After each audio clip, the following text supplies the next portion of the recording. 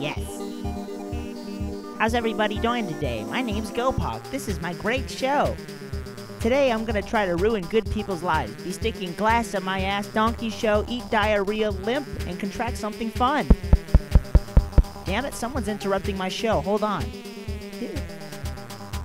I wonder who could be here at this time of the night.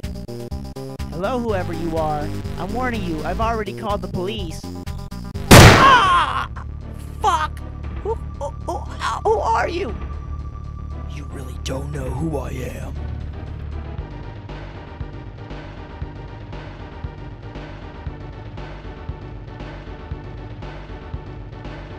Oh, I'm you. I'm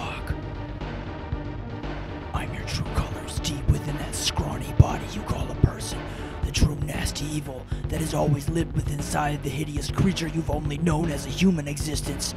Take heed for the words I speak to you, for I will only speak them once. If you want to be a killer, finish the job, for your past will come back to finish you off. Well, fuck you! I'm not gonna give up without a fight!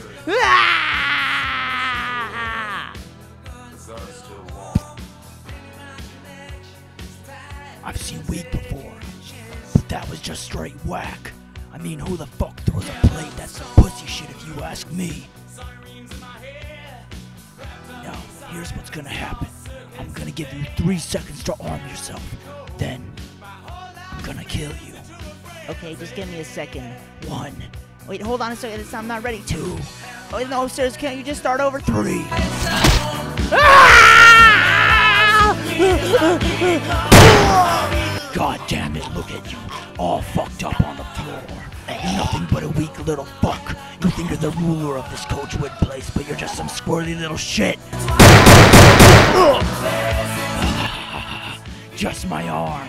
I don't need that to live, you fucking faggot. Ah! How did you know? My only weak point!